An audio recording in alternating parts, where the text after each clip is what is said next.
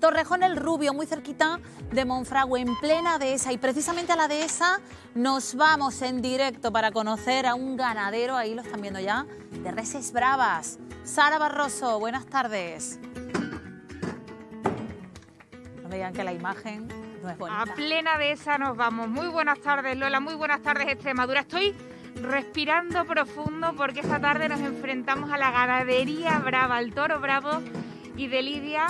Me voy a acercar un poquito, Luis, pero manteniendo las distancias de seguridad, que no falte. Que no falten este año que nos ha tocado padecer el COVID este. Sí. Vamos a hablar del papel importantísimo que tiene la ganadería brava, el buey, los bueyes, son los cabestros que también lo conocemos así.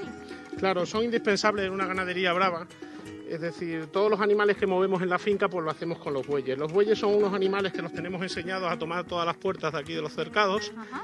y entonces son muy, eh, muy manejables a la hora de, de trasladar los toros a los corrales y chiqueros, pues para transportarlos, para curarlos, para hacer sanamiento, lo que tengamos que hacer. Vamos a enseñar en casa, voy a coger por aquí que lo tenemos, lo que es el campanillo, el elemento que utilizamos para llamar la atención también de lo que es el toro en campo.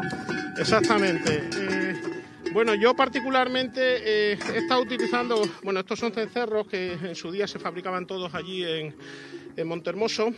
Y bueno, le ponemos nosotros un badajo, le hacemos unos, corra- unos collares con unas correas especiales que les dura muchísimo tiempo, cerca de tres años. Y eh, pues se los ponemos normalmente a las hembras que sabemos que manejan bien las puertas, porque son ellas las que van a trasladar los toros hacia los corrales y chiqueros. Acabas de decir, uy, se ponen un poco nerviosas. Ay, ay, ay. Ay. es que estamos en su terreno, se siente un pone poquito acorralada.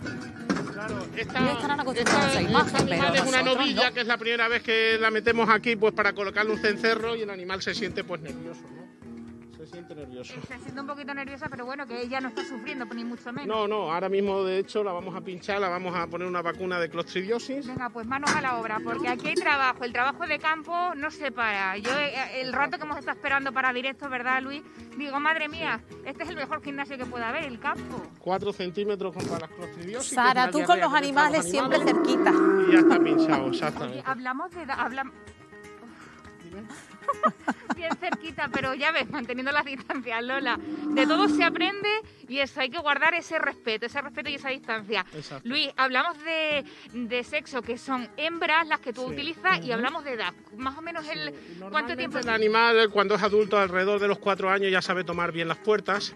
Y entonces ya, pues, la- eh, dejamos normalmente la vaca que tenga un pelín de que sea un poquitín más nerviosa, más violenta a la hora de tomar puertas, porque siempre va a ser más rápida y va a conducir mejor los toros.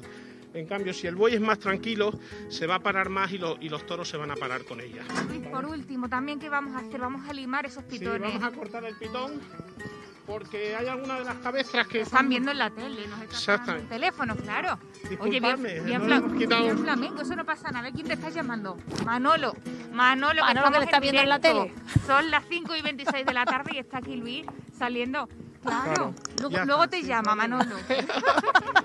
Mira, eh, normalmente le cortamos así la punta del pitón, lo que es el asta, que es tejido conectivo, como si nosotros nos cortáramos las uñas. Eso te iba a decir, eso, ella no ¿Veis? sienta nada de dolor. Eso lo están viendo ustedes ¿Habéis en visto? directo. Hemos cortado la punta del pitón, no sangra en absoluto, porque lo que hacemos es cortarle como si fuéramos las uñas nuestras, es tejido conectivo.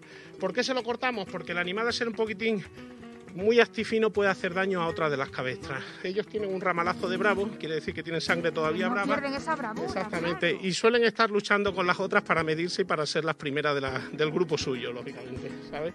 Eh, Luis, tiempos complicados para todos. Para el, el tema del ganado bravo también. Nos ha Claro. tocado reinventarnos porque las pérdidas, claro, son más que obvias. Claro, este año con el tema del COVID no ha habido organización de espectáculos taurinos. Muchos ganaderos han quitado hembras de cría, las han llevado al matadero. Muchos ganaderos al principio de la pandemia, en el mes de marzo, llevaron los animales, tanto toros como novillos, al matadero. Y bueno, nosotros aguantando a ver qué pasa este año, la incertidumbre de este año, pero con el ojo avisor.